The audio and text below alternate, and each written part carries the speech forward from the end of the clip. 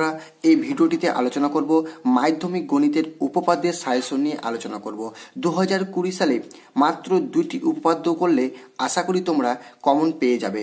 তো বন্ধুরা, ভিডিওটি আশা করি শেষ পর্যন্ত দেখতে থাকবে আর চ্যানেলে নতুন হলে অবশ্যই পরবর্তী নতুন নতুন ভিডিও পাওয়ার জন্য চ্যানেলটি সাবস্ক্রাইব করে রাখবে। দেখো, এখানে প্রথম উপপাদ্যটা রয়েছে, পিথাগোরাসের উপপাদ্যটি বিবৃত করো ও প্রমাণ করো। ঠিক আছে, এটা বইয়ের দুশো পঁচাশি নম্বর পৃষ্ঠায় রয়েছে। তার সঙ্গে এই প্রশ্নটা আরও অন্যভাবে আসতে পারে যে প্রমাণ করো যে যে কোনো সমকোণী ত্রিভুজের অতিভুজের ওপর অঙ্কিত বর্গক্ষেত্রের ক্ষেত্রফল অপর দুই বাহুর অঙ্কিত বর্গক্ষেত্রের ক্ষেত্রফলের সমষ্টির সমান। ঠিক আছে? তারপরে দেখো, দুই নম্বর পিথাগোরাসের বিপরীত উপপাদ্যটি বিবৃত করো ও প্রমাণ করো।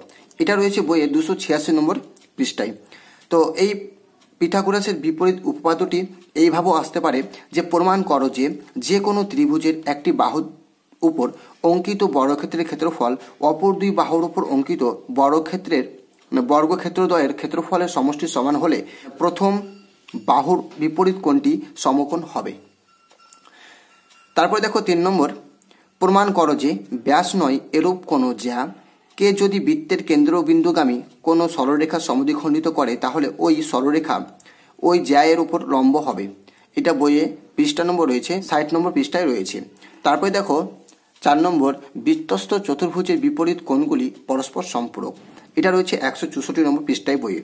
ঠিক আছে? তার সঙ্গে আরেকটি তোমরা উপপাদ্য দেখে রাখবে এখানে, চৌত্রিশ নম্বর উপপাদ্য বইয়ের একশো তেইশ নম্বর পৃষ্ঠায় রয়েছে। তো বন্ধুরা, এই কয়েকটি উপপাদ্যের মধ্যে মোস্ট ইম্পর্টেন্ট দুইটি উপপাদ্য হচ্ছে প্রথম দুইটি। আশা করি এই প্রথম দুটি করলে তোমরা মাধ্যমিক দু হাজার কুড়ি পরীক্ষায় কমন পেয়ে যাবে। প্রথমটা রয়েছে পিথাগোরাসের উপপাদ্যটি বিবৃত করো ও প্রমাণ করো। এই প্রশ্নটা আরও একটি অন্যভাবে আসতে পারে যে প্রমাণ করো যে যে কোনো সমকোণী ত্রিভুজের অতিভুজের ওপর অঙ্কিত বর্গক্ষেত্রের ক্ষেত্রফল অপর দুই বাহুর অঙ্কিত বর্গক্ষেত্রের ক্ষেত্রফলের সমষ্টির সমান। তারপরে আরেকটি দেখে রাখবে যে পিথাগোরাসের বিপরীত উপপাদ্যটি বিবৃত করো ও প্রমাণ করো।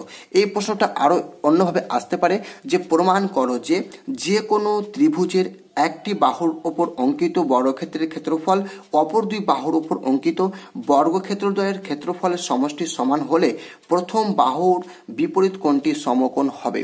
তো বন্ধুরা, আশা করি ভিডিওটি ভালো লেগেছে। এরকম পরবর্তী নতুন নতুন ভিডিও পাওয়ার জন্য অবশ্যই চ্যানেলটি সাবস্ক্রাইব করে রাখবে।